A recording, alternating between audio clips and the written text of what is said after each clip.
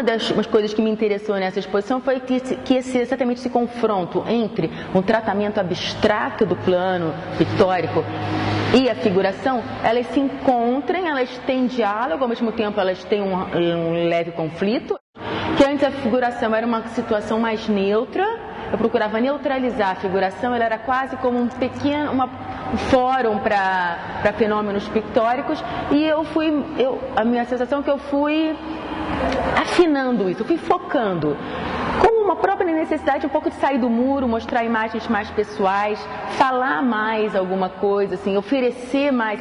Uma forma de do trabalho ficar mais interessante para mim, pelo menos, era me aprofundar nessa, nesse, nesse caminho da, da figuração e ao mesmo tempo manter essa banda paralela da, da, da de estruturar a tela com bases é, abstratas, né? estruturas de plano, é, de cor, é, composição, enfim. O fato de lidar com interiores me ofereceu um outro repertório. Antes eu estava colocando a, a, as imagens em situações de paisagem, com planos maiores, né?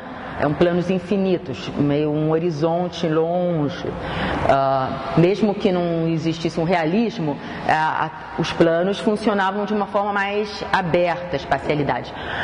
Interior ele me oferece um outro repertório, que era o que na verdade me interessa, né? são os repertórios de imagem, quando eu mudo de um tema para outro.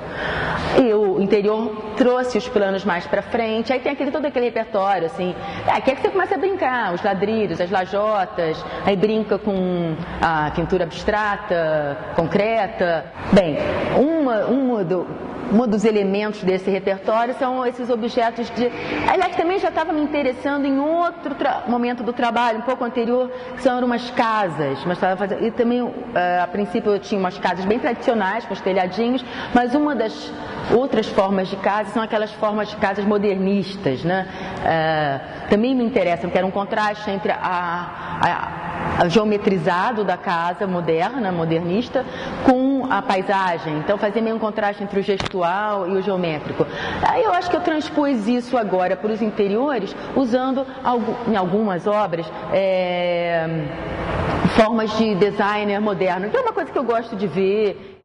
Os cachorrinhos, nesse contexto, eles atuam como meio doninhos da casa ou como peças de decoração, que nem o poodle né, da, da moça que vai para boate levando o poodlezinho, também tem na casa que nem uma almofada, um, um bichinho animado. Quer dizer, também era esse contraste entre aquele mundo todo limpinho, né?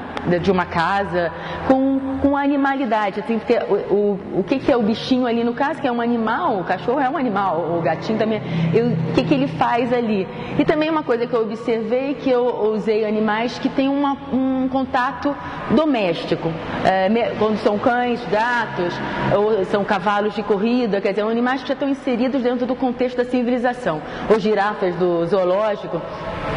São animais que é, são animais, né? Que nem nós, e, mas que já estão inseridos dentro da nossa civilização. Já põe umas roupinhas, né? O cavalo já tem o, aquele visualzinho de, de cavalo de corrida, já tem todos os apetrechos, enfim.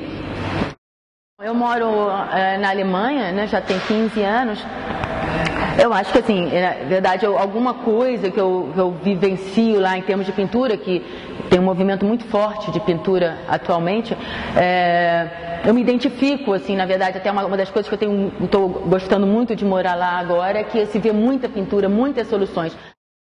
E, mas é super interessante, na verdade, ver a, a diferença, assim, a quantidade de, de, de, opções de pintura transitando no, no meio, né?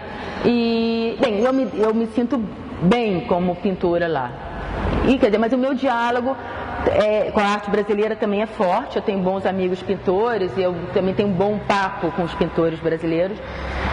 E é uma coisa que sempre me interessa também. Mas os pintores uh, atualmente na Alemanha, eles, uh, o que uma das coisas que eu acho mais interessante é que eles uh, meio que largaram esse conceitualismo da pintura. Eles, se eles são pintores, eles lidam com o meio pintura. Eventualmente entra uma citação, uma, uma metalinguagem, é, mas isso faz parte, isso já é feito há mais de 100 anos e não é nenhuma novidade, né? Não dá para chamar isso de conceitual.